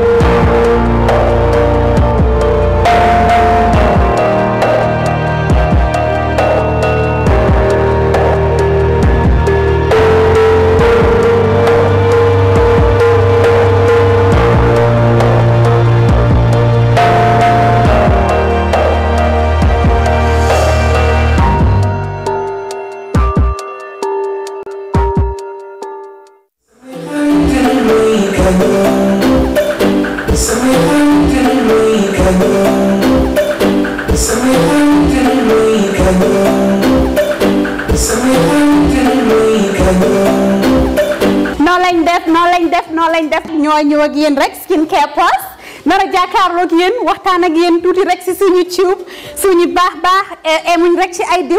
Waaye comme ni ngeen ko xamee rek dañoo yëngu ci ay tube te yënguñ nag si just any tube. Suñ tube bu nekk five star jas na la. Five star jas na mooy jas na bi gën a gën a pire. Moom la ñoo tube. Palmaan bi gën a foor moom la ñoo liggéeyee. Ñun rek si tube. Dara du doy day des. Not only dañoo cuub but bu la neexee ñu cuubal la. Ba pare nag ñawal la. We not all about skin. We are skin. Care and the plus and the plus does come in so many different ways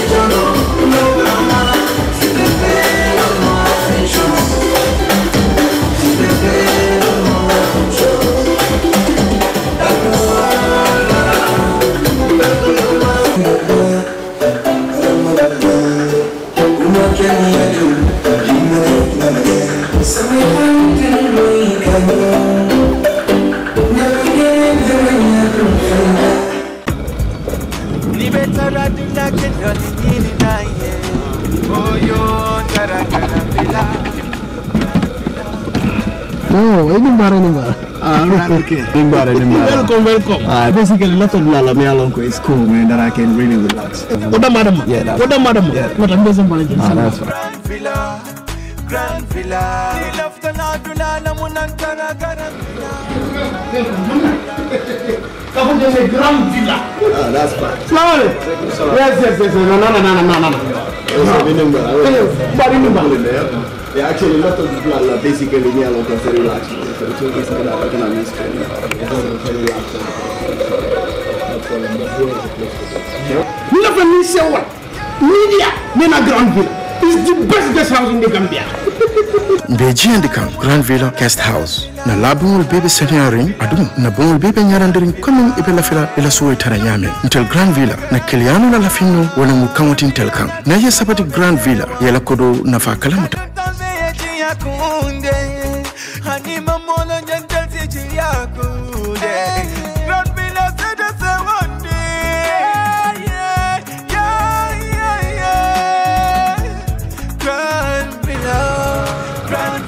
man, this is like a paradise. I know, no, no, I so much love this place. Thank you, thank you. Trust me, I love this place. You come to somebody and what you want. Yeah. Have done and tell you. I tell you. Love this place. Okay.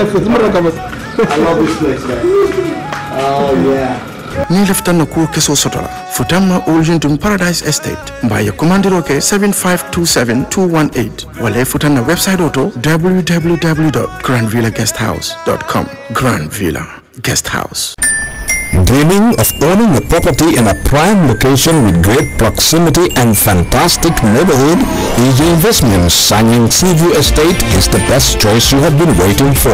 Our Sanyang Seaview Estate is approximately 15 minutes drive away from the busy hub of Brusubi roundabout and into the heart of nature where you can have a peaceful and relaxed lifestyle with your family. You can buy a finished four-bedroom story with five-year flexible payment plan or a service plot with two-year payment plan option.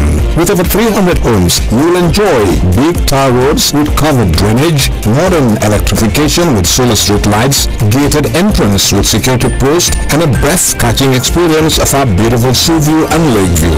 You can own a home today at our Sanyang Sea View Estate. Call us today on 446-4838 or 325-9220. Visit our website on ejinvestments.net. EJ Investments, first in property.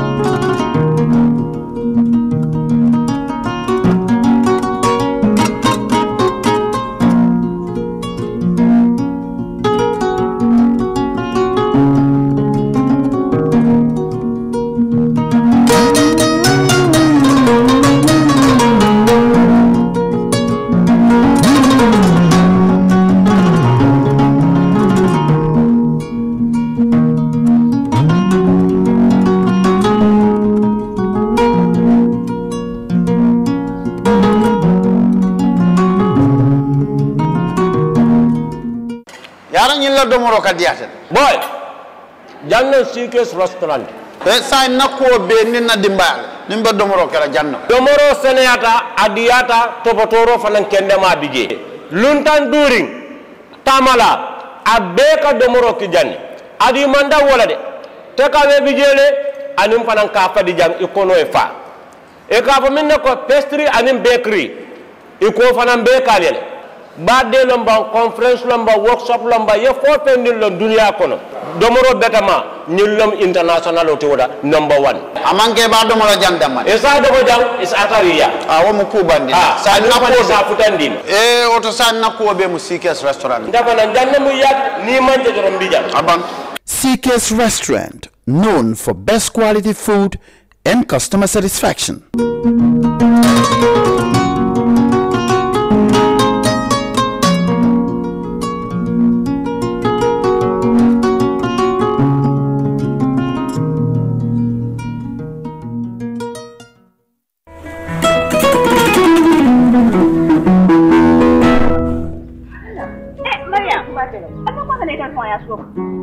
ba Europe ndista konte eh. nka bo wolo kolkan sai sai na suko kono mano ban ta jabo ban ta tulo ban.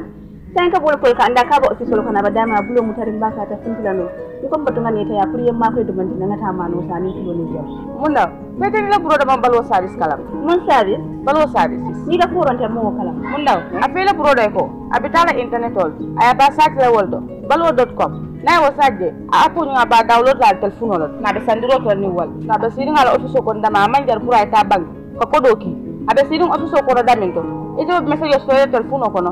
Eɓe piti koɓe gambia dawɗa piti ko baɓele sano dawɗa yetta senko tawol wodamma wodamma yala bari wo service nata molda hande ngata ɓe kan fijannabroɗan ka ko ko ayo continue ha